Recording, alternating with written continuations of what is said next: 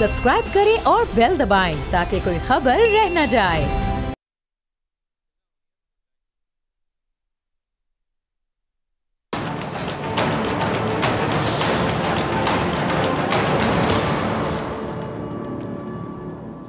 वालेकुम नाज़रीन, मैं हूँ डॉक्टर फिजा अकबर खान और मैं हूँ पाकिस्तान और आप देख रहे हैं पाकिस्तान के सबसे बड़े न्यूज़ चैनल का नंबर वन प्रोग्राम, ऐसे नहीं चलेगा। एक दफ़ा का ज़िक्र है कि एक शख्स बहुत ही गरीब था। उसने अपनी बेगम से मशवरा किया कि एक रईस आदमी के यहाँ गुलामी की जाए।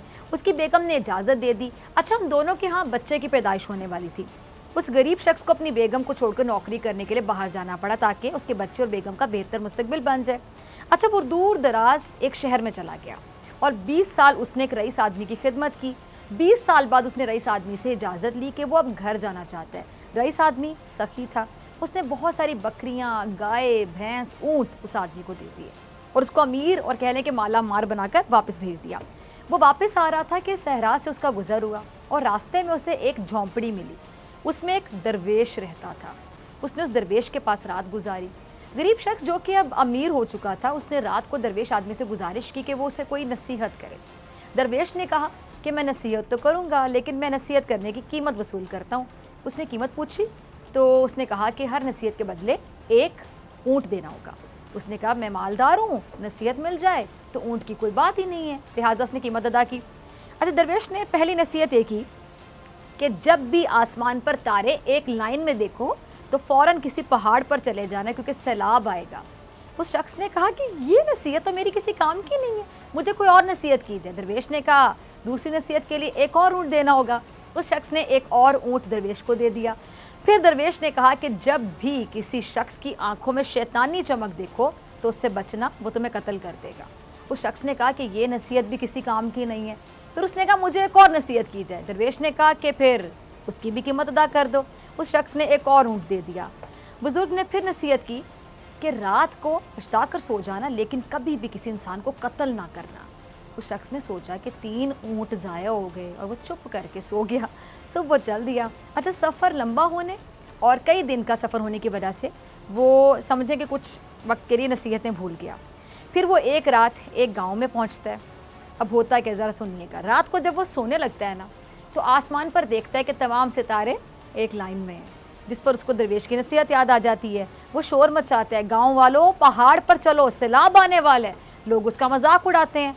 अच्छा वो शख्स अपना माल खोलकर, आप समझे कि पहाड़ पर ले जाता है और वहाँ जाके सो जाता है। लोग तो उसकी नहीं सुनते। अब वो सुबह उठता है तो क्या देखता है कि नीचे सैलाब बाकी आ चुका है? सारे गाँव वाले जो हैं, वो गर्क हो चुके हैं, जिन्होंने उसकी बात नहीं सुनी थी। अब वो कुछ दिन पहाड़ पे रहता है। जब सैलाब का पानी उतरता है तो वो अगली मंजिल पर चल पड़ता है। अच्छा एक और गाँव में जाकर ठहर जाता है। अब एक शख्स के घर क्याम करता है, जो कि बज़ाहिर बहुत ही अच्छा मालूम होता था, लेकिन उसकी आँखों में वही शैतानी चमक देखकर वो चौंक जाता है। अब फिर उसको एक नसीहत याद आती, जो दूसरी नसीहत की थी दरवेश ने। अब रात को उसी परेशानी में उसे नींद नहीं आती और वो उठ जाता है, अपने बिस्तर को इस अंदाज से फैला देता है कि ऐसा मालूम हो कि कोई सोया हुआ है। इस दौरान वो शैतानी चमक वाला आदमी आता है और उसके हाथ में खंजर देखकर वो परेशान हो जाता है। वो शैतानी चमक वाला बिस्तर पर खंजर मारना शुरू कर देता है और वो शख्स उसको पीछे से पकड़कर मारना शुरू कर देता है और उसे बाँध देता है। पुलिस को बुलाकर उसे पुलिस के हवाले कर देता है। आखिरकार वो रात को अपने गाँव में पहुँचता है और अपने घर के पास पहुंचकर देखता है कि घर में उसकी बीवी किसी नौजवान के साथ बैठी हुई है।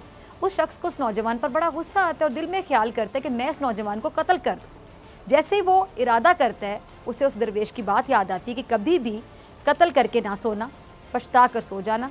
वो सोचता है कि पहले भी नसीहत काम कर गई दूसरी नसीहत भी काम कर गई लिहाजा वो गाँव से बाहर आ जाता है। अच्छा फिर सुबह होती है तो उसके दिल में ख्याल आया कि गाँव वालों से अपना हाल दरियाफ़ करूँ। जैसे गाँव में जाता है अपने बारे में दरियाफ़ करता है गाँव वाले बताते हैं कि वो शख्स बहुत ही गरीब था और बरसों पहले रोज़ी रोटी के लिए चला गया था और उसने मज़ीद दरियाफ़ किया कि जब वो जा, जाने लगा तो उसकी बीवी हामला थी। गाँव वालों ने बताया कि अल्लाह ने उसे एक बेटा दिया जो कि अब जवान हो गया। जैसे उसने सुना तो उसके जहन में आया कि जो रात को नौजवान था, यानी वो मेरा ही बेटा है, जिसे कत्ल करने का ख्याल उसके दिल में आया था। ये सुनकर वो घर जाता है और इस कहानी की आप समझ लें कि हैप्पी एंडिंग हो जाती है। अब नाजिन इस कहानी से सबक ये मिलता है कि अगर कोई भी बड़ा, अक्लमंद या फिर जो नेक शख्स है, अगर आपको नसीहत करता है तो उसको पल्ले से बाँध ली। अब कहानी में उस गरीब शख्स ने दरवेश की तीनों नसीहतें मान ली, इसलिए कह लें कि वो मुश्किलों से बचने में कामयाब रहा।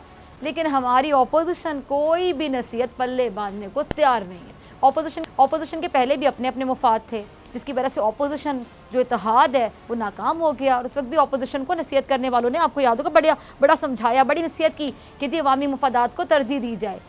फिर ही इतिहाद कामयाब होगा। खुद पीपल्स पार्टी ने भी नून लीग और जे को बहुत समझाया, लेकिन पी की जो आला क्यादत है, कह लें कि उसने कोई नसीहत पल्ले नहीं बांधी, सब मशवरों को नज़रअंदाज कर दिया और नतीजा क्या निकला? वही जो निकलना था। कि पी डी एम टूट फूट का शिकार हो गई। अब एक बार फिर अपोजिशन महँगाई के नाम पर लॉन्ग मार्च करना चाहती है। अपोजिशन एहतजाज भी कर रही है। अब ऐसे में नसीहत करने वाले एक बार फिर से पीडीएम को नसीहत ये कर रहे हैं कि महँगाई पर एहतजाज और लॉन्ग मार्च करने के बजाय इस बेकाबू महँगाई पर अपनी हमत अमली बनाएँ। आवाम की जान इस मुसीबत से छुड़ाने में अपना किरदार अदा करें। लेकिन अपोजिशन टस से मस नहीं हो रही। कहीं ऐसा ना हो कि आने वाले दिनों में अपोजिशन को क्या कहते हैं, लेने के देने पड़ जाए, ऐसा मामला ना हो जाए, ऐसी सिचुएशन ना हो जाए, और आइंदा इंतबात में भी इन्हें कहीं वाकई बहुत ज़्यादा नुकसान ना उठाना पड़ जाए। जिस तरह आवाम हुकूमत की जो परफॉर्मेंस होती है, कारकर्दगी होती है ना, उसको नोट करते हैं। ठीक वैसे ही आवाम क्या अपोजिशन के किरदार को, कारकर्दगी को नहीं देखते होंगे? यकीनी तौर पर आवाम सब कुछ नोट करते हैं। और ये जो बढ़ती महँगाई है, इसकी वजह से अब आवाम अपोजिशन से भी उम्मीद लगाए बैठे हैं। कि वो महँगाई को काबू करने के लिए हुकूमत का साथ देगी, क्योंकि उनको तो बाकी आवाम की बड़ी फ़िक्र है जैसे को बार बार कहते हैं। और महँगाई को काबू पाने का हल भी बताएँगे, क्योंकि बाकी इनको आवाम की अगर फ़िक्र है तो उनको हल बताना चाहिए, ना कि शोर मचाना चाहिए। अगर अपोजिशन को ये लगता है कि वो इस अवामी इशू को अपने मुफाद के लिए इस्तेमाल करने में शायद कामयाब हो जाएगी तो मेरे ख्याल से ये अपोजिशन की बहुत बड़ी गलत ऑब्जर्वेशन होगी। क्योंकि अब आवाम की जो सोच है, या कह लें कि चीज़ों को इनफैक्ट लोगों को परखने की जो आवाम की सलाहियत है, वो बड़ी बेहतरीन हो गई है और इस बात का क्रेडिट इन लोगों को ही जाता है कि इन्होंने अवाम को बड़ा समझदार बना दिया है। आवाम की जो परखने की सलाहियत है, परफेक्ट बना दी है इन लोगों ने खुद। आवाम अब बड़ी बाशाऊर हो चुकी है माशा अल्हम्दुलिल्लाह। इसलिए अपोजिशन को भी मेरे ख्याल से बहुत सोच समझ कर सियासत करने की नसीहत को पल्ले बांधना होगा, वरना क्या होगा? मुश्किल ही होंगी, ज़ाहरी बात है। अब जैसा कि अपोजिशन महँगाई को हुकूमत पर बाकायदा ताबड़तोड़ हमले कर रही है और हुकूमत अपोजिशन के हर हमले का दिफा करने के लिए खड़ी होती है सामने। अब विफाकी वज़ीर गुलाम सरवर तो महँगाई का जो जिम्मेदार है ना, वो अली बाबा चालीस चोर वाली अपोजिशन को करार दे रहे हैं। ज़रा उनका क्लिप चलाइएगा। अरे सुना आपने गुलाम सरवर साहब को। अब इस वक्त मुल्क में चीनी, आटे, पेट्रोल की कीमतें, आपको पता है आसमान से बातें गरीब। ऐसे में अपोजिशन हुकूमत को टफ टाइम दे रही है और शायद यही वजह है कि गुलाम सरवर खान अपोजिशन पर बाकायदा बरस रहे हैं। बाकायदा बरस रहे हैं ना? और इन्होंने मुल्क में महँगाई का जिम्मेदार किसको कहा है? अली बाबा चालीस चोर और आज की अपोजिशन को करार दिया है। और मज़ीद ये जो गुलाम सरवर खान साहब हैं, इस बात को तस्लीम कर रहे हैं कि आज मुल्क में महँगाई ने गरीब का वाकई जीना मुश्किल कर दिया, लेकिन उन्होंने साथ ये भी कहा कि इस बढ़ती महँगाई के पीछे वो लोग हैं जिन्होंने इस मुल्क को दोनों हाथों से लूटा है। अच्छा शबाज शरीफ साहब भी जरदारी साहब से मुतालिक ऐसे बयान दिया करते थे, याद है? और जरदारी साहब को तो लाहौर की, लाड़काना की सड़कों पर घसीटने की बातें किया करते थे। और शबाज साहब साथ माइक भी तोड़ देते थे जज्बाती होकर और शबाज साहब लूटी दौलत को वापस लाने का भी वादा आवाम से किया करते थे। सबके सामने वादे किए जाते थे। खैर, मुझे शबाज साहब का जो बयान है ना, ये गुलाम सरवर के इस बयान से याद आया। यानी उस वक्त भी हमारे रहबर एक दूसरे पर लूट मार के इल्ज़ाम लगाया करते थे और एक दूसरे को बढ़ती महँगाई का ज़िम्मेदार करार दिया करते थे। और आज भी यही हो रहा है। यानी इस बात का मतलब कि मैं आवाम से मुखातिब हूँ, मैं तमाम लोगों से मुखातिब हूँ जो नाजरीन सुन रहे हैं कि इस बात का सीधा सीधा मतलब क्या है? यही कि इस मुल्क में आज भी कुछ नहीं बदला। अगर कुछ बदला है तो सिर्फ़ हुकूमतें बदली हैं। आज ये चेहरा, कल दूसरा चेहरा, आज ये चेहरा, आज ये हुकूमत में, वो अपोजिशन में, फिर वो हुकूमत में, वो अपोजिशन में। और क्या बदला है? यही बदला है, हुकूमतें बदली हैं। बयान सबके एक जैसे। लेकिन इन बयान से ना तो पहले अवाम बेचारी के हालात बेहतर हुए ना अब हालात बेहतर होने के कोई इम्कान नज़र आ रहे क्या करे अवाम इन बयान का? सुबह दोपहर शाम बयान बयान बयान क्या करे अवाम अमली तौर पर प्रैक्टिकली ठोस और मौसर पॉलिसियाँ बनाना होंगी, उन्हीं से अवाम को रिलीफ मिलेगा। लेकिन अलमिया कह लें? अलमिया ये हमारे मुल्क में हमारे सो कॉल्ड रहबर, जिन्हें वाकई बड़ी फ़िक्र है हमारी, एक दूसरे से लड़ने में इतने मसरूफ होते हैं कि इनको पता ही नहीं होता कि अवाम में भी कोई चीज़ रहती है पाकिस्तान में, इस मुल्क में। अब चीनी महँगी हो गई, लेकिन सियासी रहनुमा वही फीक बयान देने में मसरूफ़ हैं। यानी कोई इस पर इल्ज़ाम लगा रहा है, कोई ईंट का जवाब पत्थर से दे रहा है। मुझे लगता है दिन रात ये सोचते रहते हैं कि कल इसकी बात का मैं ये जवाब दूँगा, परसों उसकी बात का मैं ये जवाब दूँगा। आवाम बेचारी क्या करे बताएँ? आवाम के लिए क्या हल नज़र आता है? आवाम के मसाइल और मुसीबतों से मुश्किल से चाँद कैसे छूटेगी? और एक दूसरे को ये आवाम की नज़रों में गिराने के लिए बड़े आगे आगे होते हैं। बड़े खुश होते हैं इस बात पर कि आज मैंने फ़लाँ की पगड़ी उछाली और फ़लाँ को आवाम की नज़रों में गिरा दिया। सिलसिला अफसोस के साथ कहूँगी, बड़े ज़ोरों शोर से जारी है हमारे मुल्क में। अफसोस के साथ कहूँगी। अब ये कहीं ऐसा ना हो कि जो अपोजिशन हुकूमत, ये जो एक दूसरे पर इल्ज़ाम तराशियाँ, एक दूसरे की पगड़ियाँ उछालना इल्ज़ाम के चक्कर में आवाम की नज़रों में खुद अपनी वैल्यू को कम कर बैठे ये तो कहते हैं ना, आज मैंने उसकी वैल्यू कम कर दी, आज मैंने उसको आवाम की नज़रों में गिरा दिया। कहीं ये ना कि अपनी अपनी वैल्यू ये आवाम की नज़रों में कम कर बैठें या कम से भी नीचे खो ही दें। अब चीनी की जो बढ़ती हुई कीमतें हैं, इसके दिफा में तर्जुमान पंजाब हुकूमत कुछ कह रहे हैं, ज़रा उनका भी क्लिप चलाइएगा। सुना आपने, हसान खाबर साहब को, उनकी बातों से लग तो ये रहा है कि हुकूमत के खिलाफ चीनी महँगी होने का प्रोपागेंडा किया किया जा रहा है, क्योंकि ये क्या कह रहे हैं? ये कह रहे हैं कि जी, दरामदी चीनी आज भी नब्बे रुपये फ़ी किलो में मिल रही है। और इन्होंने इस तासर को भी जायल करने की कोशिश की है कि जो चीनी का बहरान पैदा हो गया है और ये मज़ीद क्या कह रहे हैं जी, इस वक्त जो यूटिलिटी स्टोर्स हैं, वहाँ पर तीस हज़ार टन चीनी दस्तियाब है और प्राइवेट स्टॉक में भी चालीस हज़ार से पचास हज़ार टन मौजूद है। अच्छा ये जो तर्जुमान थे पंजाब हुकूमत के, इन्होंने आवाम से जो दरामदी चीनी है ना, वो इस्तेमाल करने की बाकायदा अपील की है और ये भी कहा है कि हुकूमत दरामदी चीनी पर पाँच अरब की सब्सिडी भी दे रही है। अब नाजिन हुकूमत ये भी क्लेम कर रही है कि जी लोकल चीनी की जो कीमत है, वो जान बूझ बढ़ाई जा रही है और हुकूमत शुगर माफिया जखीरा अंदोजी के खिलाफ कार्रवाई भी कर रही है और हुकूमत का ये भी मानना है कि जान बूझ कर चीनी की किल्लत पैदा करने की कोशिश की जा रही है, यानी कि ये प्रोपागेंडा ये साजिश है हुकूमत के खिलाफ। यानी चीनी पर भी अब अगर मैं एक लाइन में बोलूँ, एक जुमले में बोलूँ, चीनी पर भी अब सियासत हो रही है खुलकर। अब नाजिन, मैं किसी एक इस सिचुएशन के लिए कसूरवार नहीं कह सकती, लेकिन हकीकत ये कि जी गरीब का चीनी खरीदना वाकई मुश्किल हो गया। जबकि हुकूमत और अपोजिशन सियासत करने के लिए अब चीनी जैसी बुनियादी चीज़ को भी ज़रा सोचिए। ये लोग सियासत के लिए चीनी जैसी बुनियादी चीज़ को भी बख्शने के लिए तैयार नहीं है। अच्छा वज़ी अजम समेत जो विफाकी वज़रा हैं, उन्होंने चीनी बहरान की ज़िम्मेदारी सिंध हुकूमत पर डाल दी और उसका जवाब दिया सईद गनी साहब ने। ज़रा क्लिप चलाइए जी तो सुना आपने। सईद गनी साहब क्या कहते हैं कि जरदारी साहब की सिंध में कोई शुगर मिल नहीं है और वो ज़रा अपनी नाकामी नाकामी का मलबा सिंध हुकूमत पर डालना चाहते अच्छा दिन आपको याद होगा कि वजी अजम इमरान खान साहब ने कहा था कि सिंध में तीन शुगर मिल्स बंद पड़ी हैं और हुकूमत ने नून लीग और पीपल्स पार्टी पर यह इल्ज़ाम भी लगाया था कि इन दोनों जमातों की कई शुगर मिल्स हैं और इस एतबार से चीनी पर इनकी इजारादारी है और इन्हीं की वजह से ये जो चीनी का बहरान है, ये पैदा हुआ है। और चीनी की कीमतें, आसमान से बातें भी इन्हीं की वजह से कर रही हैं। अच्छा आज वजी अजम इमरान खान साहब की जेर सदारत प्राइस कंट्रोल इजलास भी हुआ और इजलास में चीनी के स्टॉक और ये जो कीमतें हैं ना, इसके हवाले से काफ़ी तफसीली ब्रीफिंग भी दी गई और इसमें बताया गया कि इस वक्त मुल्क में वाफिर मकदार में चीनी मौजूद है। सिंध की शुगर मिलों की बंदिश के फैसले से कीमतें बढ़ी हैं और इजलास में फिर ये फैसला किया गया है कि चीनी के मुकम्मल स्टॉक को मार्केट में लाया जाए और 15 नवंबर से पूरे मुल्क में गन्ने की जो क्रशिंग है, इसका आगाज़ किया जाए और इस दौरान जो क्रशिंग कवानीन है, उन पर सख्ती से अमल दरामद हो। अच्छा इमरान खान साहब ने इजलास में ये भी कहा कि बैन अवी मार्केट में अशिया की जो कीमतें हैं वो बढ़ रही हैं और पाकिस्तान दरामदी अशिया पर इहसार करता है, इसलिए मकामी मार्केट पर असरात मुरतब हो रहे हैं। और कहा, क्या कहा प्राइम मिनिस्टर साहब ने? कि हुकूमत गरीब तबके पर बोझ कम करने हर मुमकिन इकदाम उठा रही है और एहसास राशन, कामयाब पाकिस्तान, किसान कार्ड और इस तरह के जो दीगर प्रोग्राम में गरीबों के रिलीफ के लिए जारी किए गए हैं।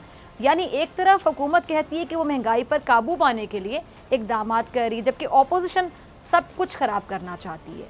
ये ज़रा विफाकी वज़रा का क्लिप दे, देखिएगा। अरे सुना आपने विफाकी वज़रा क्या कहते हैं कि ज़्यादातर शुगर मिल सिंध में हैं जिनको आसिफ अली जरदारी साहब बराह रास्त कंट्रोल कर रहे हैं रोल कर रहे हैं और पंजाब में शरीफ ख़ानदान शुगर मिल्स को कंट्रोल कर रहे हैं। अच्छा फ़खर इमाम साहब क्या कह रहे थे कि जी हमारे पास वाफिर चीनी है लेकिन नाजन सवाल ये कि फिर पंजाब में चीनी मुख्तलिफ़ रेट्स पर क्यों मिल रही है? और ख़बरों के मुताबिक खैबर पख्तूनख्वा में भी चीनी की जो कीमतें हैं, वो नीचे आने लगी हैं।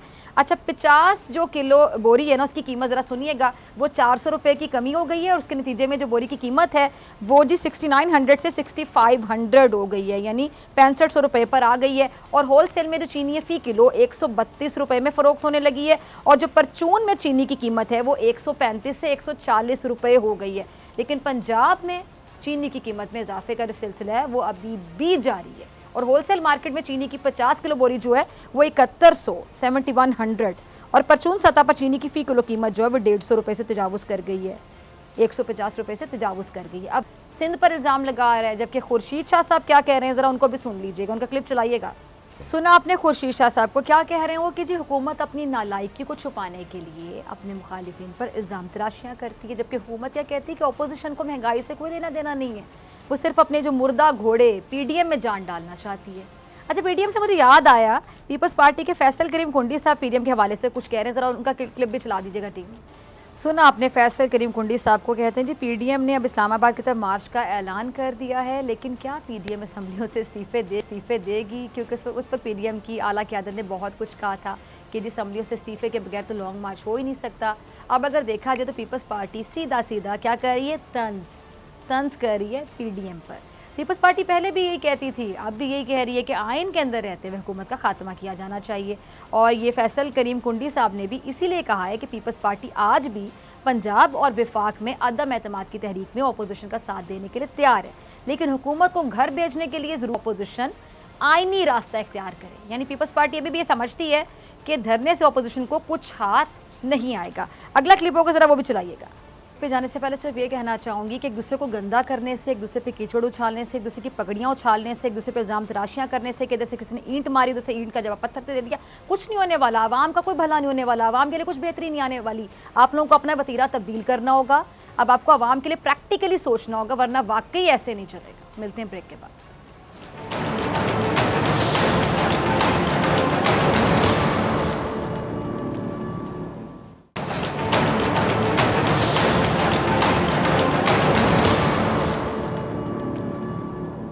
वेलकम बैक नाजरीन। वजी अजम इमरान खान साहब के ऐलान करदा रिलीफ पैकेज और फिर पेट्रोलियम मसनूआत में इजाफे के बाद से विफाकी हुकूमत इस वक्त कह लें कि अपोजिशन की शदीद तनकीद की जद में है।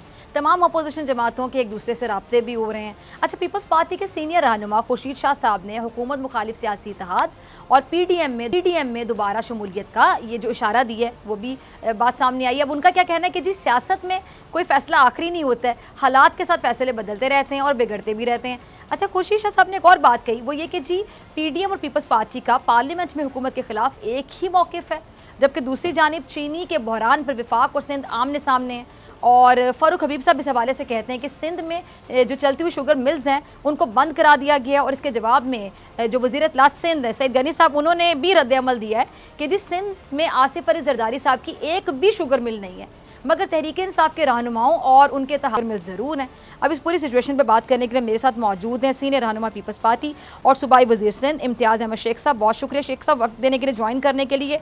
शेख साहब, महँगाई, पेट्रोल की कीमतें, रिलीफ पैकेज और चीनी बहरान के बाद क्या अपोजिशन अब एक साथ मिलकर हुकूमत के खिलाफ एहतजाज का कोई प्लान बनाने जा रही है? पीपल्स पार्टी का अभी भी कह लें कि पी डी एम में शामिल में शामिल होने का कोई इरादा नहीं है और पीपल्स पार्टी अकेले हुकूमत के खिलाफ एहतजाज का कोई इरादा रखती है?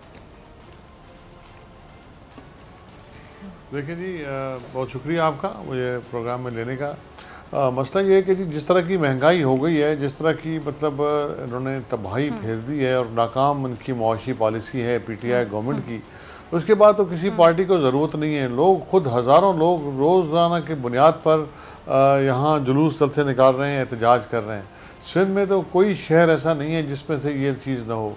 अब देखें कोई चीज़ इनके काबू में नहीं है ना। ये और झूठ इतना बोलते हैं इनके लीडर इतना झूठ बोलते हैं कि मतलब अंदाज़ा नहीं आपको। पूरे पूरे मुल्क में उन्होंने एक बहरानी की सूरत हाल पैदा कर दी है और लोग खुद निकल आए तो ये पार्टी का फैसला होगा ये तो पार्टी फैसला करेगी कि पीडीएम में शामिल होना है नहीं होना है। हमारी पार्टी की क्यादत जो है हमारी सेंट्रल एग्जीक्यूटिव कमेटी हमारे चेयरमैन वही फैसला करेंगे तो मतलब जाना है नहीं जाना। और वो बैठ के ज़रूर पॉलिटिक्स में बातचीत होती है। और ये खबरें आ रही थी कल परसों से कि उनकी बातचीत आपस में कहीं ना किसी न किसी से मरहले पे किसी न किसी लेवल पे जारी हैं। तो ये देखेंगे आगे लेकिन अभी तक पाकिस्तान पीपल्स पार्टी ने हमारे चेयरमैन के कहने पे पूरे मुल्क में एहतजाज किया। सुबह सिंध में हम मैं जहाँ बात करूँ पर यहाँ भी भरपूर एहतजाज हुए और डेली के बुनियाद पर हो रहे हैं ये एहतजाज। इस वक्त ये कुछ हाँ। भी नहीं कर पा रहे मुकम्मल तौर पे ये हुकूमत नाकाम हो गई है और चाहिए तो इनको कि मतलब और झूठ बोलते हैं देखिए चीनी के बारे में जब इतना डेढ़ सौ और सौ साठ रुपये चीनी हो गई हाँ। है अब ये उधर छापे मार के पंजाब में चीनी की तरसील जो है सप्लाई को रोकते हैं वो पूरे के पूरे गोदाम सील कर देते हैं हाँ। जो। चीनी मार्केट में जानी थी वो जाती नहीं दूसरा प्राइम मिनिस्टर साहब ये झूठ बोलते हैं कि जी तीन मिलें जो हैं पीपल्स पार्टी ने बंद किए हैं वो आप नाम तो बताएँ कौन सी मिले हैं किसने बंद करवाई? यहाँ तो देखिए पिछले साल भी नवंबर में हुआ हाँ। था अपना क्रशिंग सीज़न शुरू अभी भी नवंबर में हो रहा है। इनसे पूछें मैं उनसे ये पूछता हूँ सवाल करता हूँ कि पंजाब की कौन सी मिलें चल गई हैं? केपी केपी में मिले हैं वो कौन सी चल गई हैं जो सिंध में नहीं चली? ये सिर्फ़ इल्ज़ाम लगाना है और ये झूठ बोलना कि तीन मिले हैं। भाई आप नाम बता दें और वो उनके को मालिकान अगर कह दें कि पीपल्स पार्टी ने कहा है तो मतलब जो सज़ा होगी हम भुगतने को तैयार।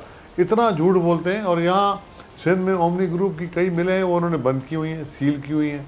तो मसले का मतलब बहरान तो उन्होंने खुद पैदा किया है। बहरान तो उन्होंने मतलब खुद इस तरह के हरकत हरकत करके जिसमें मतलब पंजाब में डेली के बुनियाद पे आता है कि मतलब वहाँ छापे लग रहे हैं। अभी बुजदार साहब को कोई समझाए कि भाई इस हम्म। वक्त तो चीनी चाहिए मार्केट में चीनी चाहिए लोगों को मिलना आप उधर से छापे मार के उनको सील कर देते हैं। और जब सील हो जाती है एक चीज़ तो मैं क्योंकि मेरा खुद बैकग्राउंड रहा है सिविल सर्विस का एक दफ़ा सील हो गई तो यकीन रखें कोर्टों में खोलने के लिए उनको कई दिन लग जाएँगे कई हफ़्ते लग जाएँगे। तो ये तो उनकी हुकूमत है, है ये तो हाँ। उनकी अहलियत है। एनर्जी का मसला देखें बिजली तो हर चीज़ में उन्होंने तबाही कर दी। जब उनको गैस की ज़रूरत थी तो ये अपना तेल मंगा रहे थे। जब तेल की ज़रूरत है तो गैस मंगा रहे हैं। तो मतलब इनसे क्या बैद करें? चार चार वज़ीर उन्होंने चेंज किए हैं अपना एनर्जी के। तो मतलब आवे का आवा ही बिगड़ा हुआ है। झूठ फरावानी से बोलते हैं। इन्होंने अपने इतने एडवाइज़र रख लिए हैं कि मतलब सुबह शाम उनका एक ही काम है झूठ बोलना। शुगर के हवाले से झूठ एनर्जी के हवाले से झूठ। और अभी सबसे महँगी तरीन एनर्जी के जो उन्होंने एलएनजी के जहाज़ उन्होंने मंगा लिए हैं। ये कहीं भी नहीं होता था इतना महँगा और इतना सस्ता था एल उन्होंने नहीं मंगाया। तो ये इससे ज़ाहिर होता है कि इनमें मतलब एडमिनिस्ट्रेटिव कैपेसिटी ही नहीं है। इनमें गवर्नेंस का शदीद फुकदान है। और एडमिनिस्ट्रेटिव कैपेबिलिटी अच्छा ये एलएनजी के हवाले से भी मैं आगे जाके बात करूँगी। इम्तियाज़ साहब ये पहले चीनी बुरहान की मैं ज़रा बात करना चाहूँगी। एक क्लिप होगा हमाद अजहर का टीम ज़रा चलाइएगा शेख साहब फिर मैं आपकी तरफ़ आती हूँ। हमाद अजहर साहब का क्लिप चलाइएगा। जी शेख साहब आपने सुना हमाद अजहर साहब को। इसके अलावा असद उमर साहब भी कह रहे थे कि जी सिंध की जो शुगर- मिल्स हैं वो आसिफ अली जरदारी आसिफ अली जरदारी साहब कंट्रोल करते हैं। अब ये एक इल्ज़ाम लगाया गया उनकी तरफ़ से आप आपको? बताऊँ दो मिनट मुझे दें। मैं इसके इल्ज़ाम की तरदीद करता हूँ। झूठ सफ़ेद झूठ। हमाद हमाद हमाद अजहर साहब को अपनी वजारत तो संभलती नहीं है। उनसे अपनी चीज़ें तो संभलती नहीं है। गैस का बुरान बिजली का बुरान पेट्रोल का बुरान सब वजारतें इनके पास हैं और नाहल तरीन ये मतलब वजारत साबित हुई है। एक भी चीज़ ये नहीं समझ पा रही। पेट्रोल कहाँ से कहाँ पहुँचा दिया? गैस मतलब इस मुल्क में पैदा होती है मतलब हमारी ज़रूरियात की 62 64 परसेंट पैदा करते हैं वो गायब। अब जहाँ इनको मंगाना था बाहर से वो इन, इनकी इतनी रेपुटेशन ख़राब है तो कोई बिडिंग करता ही नहीं है। कोई टेंडर में पाकिस्तान के टेंडर्स में कोई आने को तैयार नहीं है। ये इनकी नाहली है और चार वज़ीर तो जा चुके हैं अब लगता है इनकी बारी है। दूसरा इन्होंने जो झूठ बोला है जो शुगर के बारे में मैंने कहा इनसे काइंडली मैं आपके तवस्त से पूछता हूँ उन तीन शुगर मिलों के नाम बता दें। कौन सी शुगर वोलों की चिमनियाँ चली थी और, और कौन सी बंद कराई गई हैं? और उन्होंने इल्ज़ाम भी लगा दिया सिंध के आ, मतलब जो गन्ने की जो मिल मिल मालकान हैं जो उनके एसोसिएशन के लोग हैं।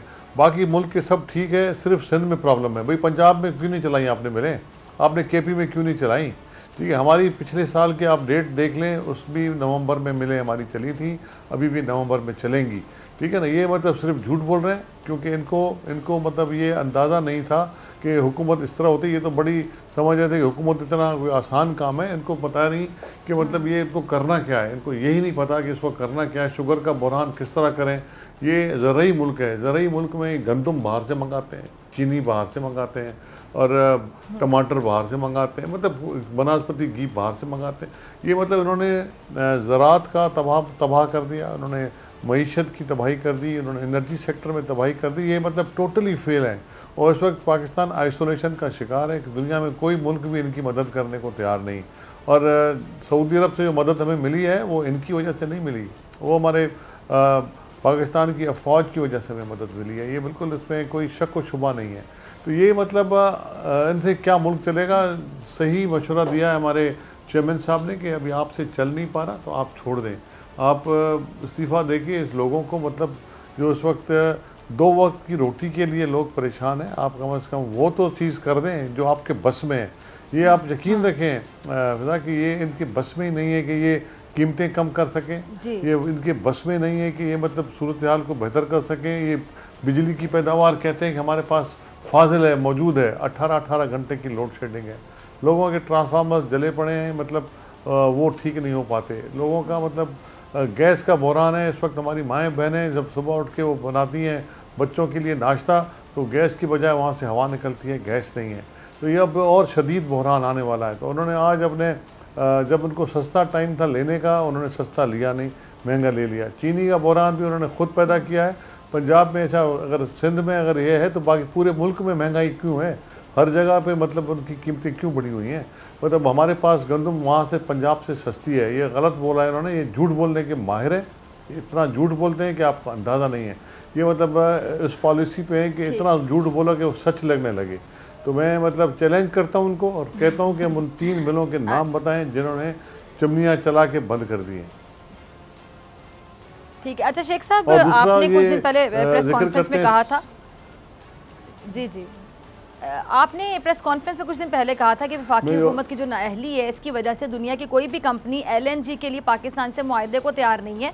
और शहरी रहमान साहिबा ने भी कहा है कि जी हुकूमत महँगा तरीन ये जो एलएनजी कार्गो ख़रीदने जा रही है तो नैब इस स्कैंडल की इंक्वायरी करे। तो क्या कहेंगे आप? देखिए जी मैंने तो पहले भी कहा कि जब इनको ज़रूरत थी, जब सस्ता था, पूरी दुनिया में सस्ता था, इन्होंने कहीं से भी नहीं ख़रीदा। इन्होंने लास्ट मिनट पे परचेजिंग की और वो भी नहीं कर पाए, वो इसलिए नहीं कर पाए कि इनका रिकॉर्ड इतना ख़राब है कि कोई भी कंपनी इंटरनेशनल कंपनी इनको मतलब इनसे कोई ट्रेड डील करने को तैयार नहीं अभी मतलब दो कंपनियाँ थी ए एक और कंपनी है, उन्होंने इनको, उनका जो कार्गो आना था वही रास्ते में किसी और को दे दिया, इनको नहीं दिया। इन्होंने वही मजबूरन सबसे महँगा तीस या इकतीस डॉलर एम एम जो उनका वो है उस पर उस रेट पे उन्होंने ख़रीदा है। और उस पर भी पता नहीं क्या इनके चक्कर हैं क्या है मतलब जब सस्ती थी तो आपने क्यों नहीं ख़रीदी? डेफिनेटली नैब देखे जब नैब बाकी चीज़ें देख रही है जिसका थोड़ा सा भी मसला होता है कि मतलब किसी ने कोई मीटिंग अटेंड कर ली है उसको भी उस रेफरेंस में डाल दिया जाता है किसी उसमें जिसका कोई वास्ता भी नहीं होता। तो ये तो मतलब एक खुला एक है उस पर डेली प्रोग्राम हो रहे हैं पूरे चैनल्स पे और इस पर तो कोई शक शुबा नहीं बिल्कुल शेरी रहमान साहब ने सही कहा है उनको ज़रूर देखना चाहिए कि इतना महँगा और ये महँगाई और बढ़ेगी। ये देखें ये महँगाई और बढ़ेगी और ये इनसे बस में इनके काबू आने में नहीं है। तो ये मतलब टोटली फेल्ड एक गवर्नमेंट ये ले आए हैं और ये तो बड़ी डेंगे डेंगे मारते थे कि हमारे पास इतने एक्सपर्ट हैं हमारा इतने हमारे पास एक भी बंदा नहीं है। इनके पास जो कि मतलब इनका कोई पॉलिसी चला सके। एनर्जी पॉलिसी बिजली की पॉलिसी गैस की पॉलिसी एग्रीकल्चर की पॉलिसी फाइनेंशियल पॉलिसी आप देखें ना कहाँ मतलब इन्होंने कोई बेहतरी की है? कहाँ बेहतरी की है? ये इतनी महँगाई तो सत्तर साल में नहीं हुई। और इन्होंने सत्तर साल का कर्जा एक तरफ़ और इनके तीन साल में इन्होंने कर्जे जो बात करते थे ना बड़ी डेंगे मारते थे कि कर्जे नहीं लेंगे और कर्जा। तीन साल का कर्जा जो है वो सत्तर साल के कर्जे से ज़्यादा है। ये मतलब इनकी कारकर्दगी है। और फिर जब बात करते हैं तो कहते हैं कि तो हमने ये कर दिया और हमने ये कर दिया। तो आप यकीन रखें ये कुछ भी नहीं कर सकते और ये इनको मतलब अभी घर जाना चाहिए। घर जाने का वक्त इनका आ गया। ठीक है अभिषेक शेख साहब बहुत शुक्रिया आपके वक्त के लिए नाजिन आपसे मुलाकात होगी ब्रेक के बाद।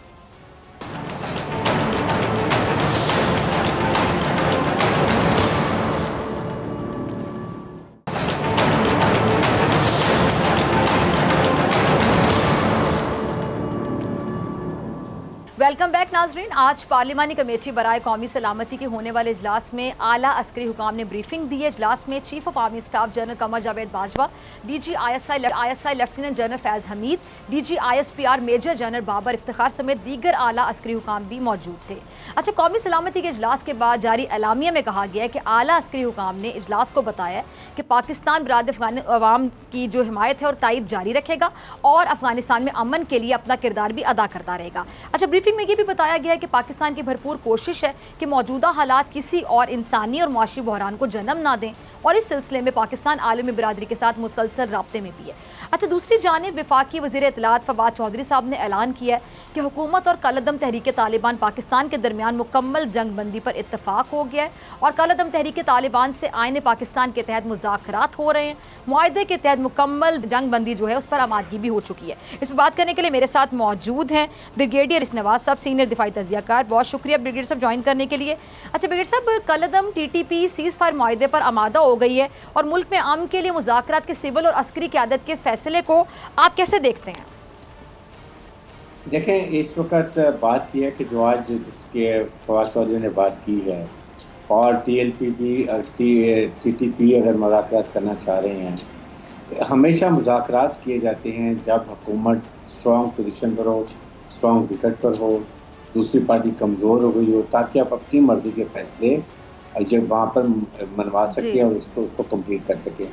इस वक्त देखें बात यह है कि अफगान तालिबान ने टीटीपी को कहा कि आप हमारी सरजमीन हमारे के लिए इस्तेमाल नहीं करेंगे। हम्म। नंबर टू हम्म। बात यह है कि इंडिया का पता कट चुका है। ना अब इंडिया वहाँ फंडिंग कर सकता है ना इंडियन को टारगेट रिकॉनेसेंस करके दे सकता है। ना उनको जितने वो ग्रुप हैं दस बारह ग्रुप उनको इकट्ठा कर सकता है। उसके बाद दाइश से भी उनके ताल्लुक ख़राब हो चुके हैं। और फिर इधर पाकिस्तान की मुसल्ह अफवाज हमने पूरे फेंसिंग कर दी है। इधर आएँगे तो चुन चुन जिनको मारा जाएगा जो पाँच छः हज़ार रह गया वो भी मारे जाएँगे।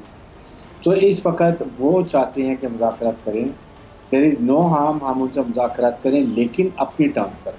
हमारी बात ये होनी चाहिए कि आप सबसे पहले ये कहें जी आप पाकिस्तान के आइन और कानून के मुताबिक उसको एक्सेप्ट करेंगे आप हथियार फेंक देंगे हथियार डाल देंगे उसके बाद जो भी हेनस क्राइम है इन मुजरिम जैसे ये जो पिशावर के ए पी एस का नुकसान हुआ था उसके ज़्यादा तक को तो सजा दी जा चुकी है कि बच जाएँगे उनके खिलाफ मुकदमे वापस नहीं होंगे। जो कत्ल गारत में हिनस क्राइम में कुछ इन्वॉल्व है उनको नहीं छोड़ा जाएगा और बाकी लोगों को मेन से मिलाने में कोई हरज नहीं है। लेकिन इसमें क्योंकि हुकूमत ने अपनी रेट कमज़ोर की है टी एल पी के मामले में इसलिए दूसरी पार्टियाँ भी अब इनक्रेज होंगी। अच्छा आपके सामने एम क्यों बात कर रही है शिपा साहबा ने बात की है बलोचिस्तान की पार्टियाँ आएँगी जो भी कौमी धारे में आते हैं और आइन और कानून के मुताबिक आते हैं जिनको आम माफ़ी देनी से उनको दी जाती है जिनको आम जिनको केस कोर्ट पे चले चलाए जाते हैं फिर इसमें कोई हरज नहीं है। लेकिन डिपेंड करता है कि इस वक्त मुजाकर किस स्टेज पर हैं। सीज फायर करना बहुत अच्छी बात है ताकि आप मुजाकर किए जाए क्योंकि जब सीज फायर नहीं होता जब एक साइड का नुकसान होता है दूसरी साइड फिर उसको काउंटर एक्शन करती है। तो अगर सीज फायर पर मुतफिक हो गए हैं और अब हम करते हैं तो हमारे मुल्क में अगर दहशतगर्दी खत्म हो जाती है हमारे मुल्क में अफरा तफरी खत्म हो जाती है यहाँ पर इंस्टेबिलिटी ख़त्म हो जाती है। मुल्क में दहशत गर्दी इंडिया के जो स्लीपर जो यहाँ सहूलत करते हैं वो भी ख़त्म हो जाते हैं। तो मेरे ख्याल में हम्म। पाकिस्तान को इस वक्त ये बहुत ज़रूरत है। हमें स्टेबिलिटी चाहिए। हमें मुल्क में दहशत गर्दी ख़त्म करनी है। हमारी मुसल्ह अफवाज ने तकरीबन इसको वैसे भी कंट्रोल कर लिया है। और अगर हम अपनी स्ट्रॉन्ग विकेट पर कहते हैं तो देर इज़ नो हार्म ठीक है। अच्छा बिगड़ साहब, बीबीसी उर्दू ने दावा किया है कि अफ़गानिस्तान के सूबा में तालिबान के वज़ीर दाखिला जो है, सराजुद्दीन हकानी की सालिसी में पाकिस्तान और तहरीक तालिबान पाकिस्तान के दरमियान ये जो मुजाकर हैं, दो हफ्तों से जारी हैं। और सराजुद्दीन हकानी के सालिसी के किरदार पर मैं जानना चाहूँगी कि आप उनके सालिसी के किरदार को कैसे देखते हैं? क्या आपका तजिए इस हवाले से? देखें अगर सराजुद्दीन हकानी ने अपना इस्तेमाल किया है और उसने तहरीक तालिबान को मजबूर किया मुजाकर के लिए ख़ास तौर पे ये उनके लिए ब्लेसिंग इन डिस्गाइज है टी टी पी के लिए कि वो फंस चुके हैं। और अगर इस मौके पे मुजाकर हम अच्छी स्ट्रॉन्ग विकेट से करें तो हमें करने चाहिए। हमेशा देखें जहाँ भी लड़ाई होगी जितने जापान का कितना नुकसान हुआ सेकेंड सेकेंड वर्ल्ड वॉर में हिरोशिमा नागासाकी पर आज वो अमेरिका हम्म। के इतिहादी हैं। इसलिए ये तो हमारे लोग से गुमराह हो गए ठीक है नुकसान किया तो उनके लोग भी बहुत मारे गए और अभी भी मारे जाएँगे। इसलिए ये मौके को हमें ज़रूर इस्तेमाल करना चाहिए लेकिन गेट ऑफ़ गवर्नमेंट और इसके ऊपर हमें कोई कॉम्प्रोमाइज़ नहीं करना कि जो पाकिस्तान के मफाद में हो पाकिस्तान के अवाम के मफाद में हो और जिन्होंने बहुत ज़्यादा नुकसान किया उनको सजा मिलती है कानून के मुताबिक। तो कोई हरज नहीं है कि इसका मुजाकर करें।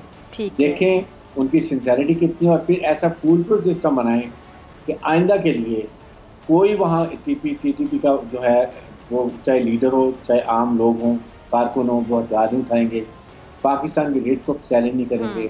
पाकिस्तान के आइन और कानून को चैलेंज नहीं करेंगे। हम्म। और आम शहरी की तरह ज़िंदगी गुजारेंगे हथियार डाल के और I think they no harm और हमें उनको इनकरेज करना है सराजी मकानी को क्योंकि दुनिया को बहुत तकलीफ़ है। इंडिया को बहुत तकलीफ़ है। दे डोंट वांट कि यहाँ पाकिस्तान में अमन हो और हम चाहते हैं हम्म। अमन हो। हमने पिछले 20 साल से हम इनके खिलाफ लड़े हैं। I think now is the time अगर अपॉर्चुनिटी है पाकिस्तान भी काम पर आते हैं पाकिस्तान में मफाद में हैं तो हम उनसे मुजाकर करने में कोई गल नहीं। हम्म, ठीक है। अच्छा ब्रिगेड साहब पार्लिमानी कमेटी बरए कौमी सलामती के अजलास की अगर मैं बात करूँ तो पाकिस्तान ने एक बार फिर से अफ़गानिस्तान में अमन के क्याम के लिए आलमी बरदरी से तालिबान हुकूमत की मदद करने पर ज़ोर दिया है। क्या ये बात मानी जाएगी? देखें पाकिस्तान को अपनी पूरी कोशिश करनी चाहिए। हमारे लिए सबसे हम्म। अहम है दो चीज़ें।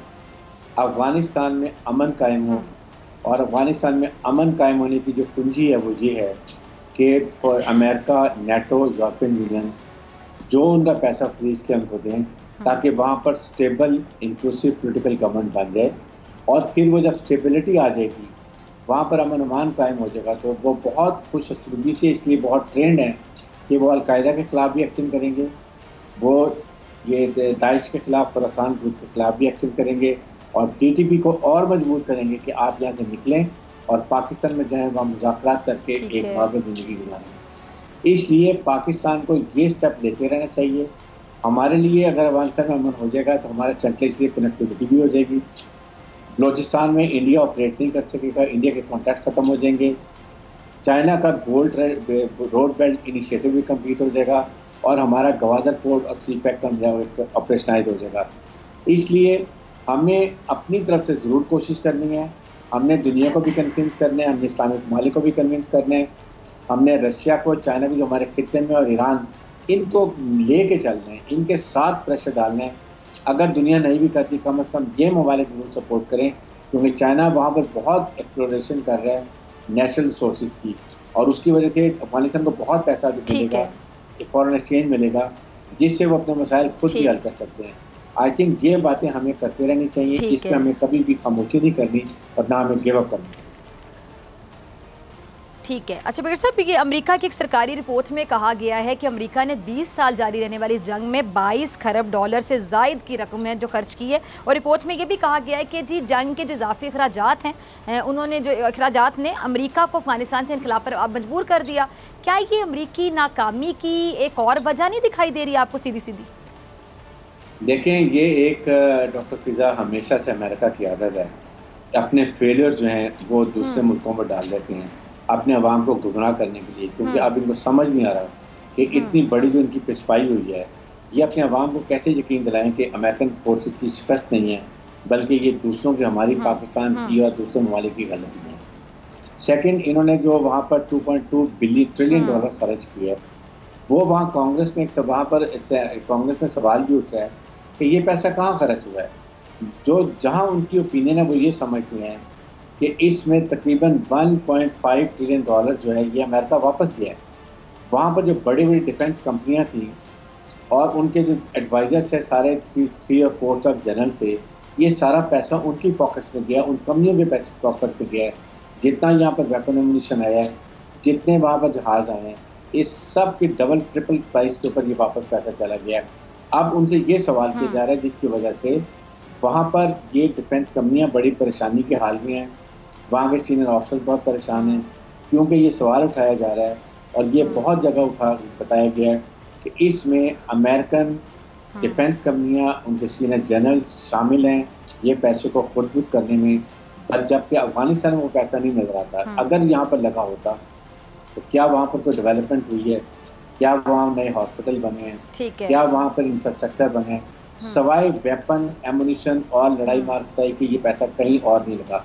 तो दीज आर द क्वेश्चन जो वहाँ रेज हुए हैं और इसके अमेरिकन एडमिनिस्ट्रेशन को इसका पिछली और ओबामा के टाइम की ट्रंप के टाइम की लोगों को जवाब देना पड़ेगा कि ये पैसा क्यों खर्च। ठीक है जी बेगर साहब, बहुत शुक्रिया आपके वक्त के लिए। नाजरीन, इसी के साथ डॉक्टर फिजा कीजिए इजाज़त। आपसे मुलाकात होगी इंशाल्लाह कल सेम टाइम सेम चैनल की ज़िंदगी ने वफा की।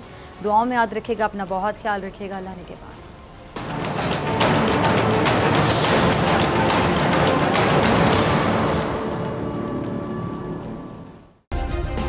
सब्सक्राइब करें और बेल दबाएँ, ताकि कोई खबर रह न जाए।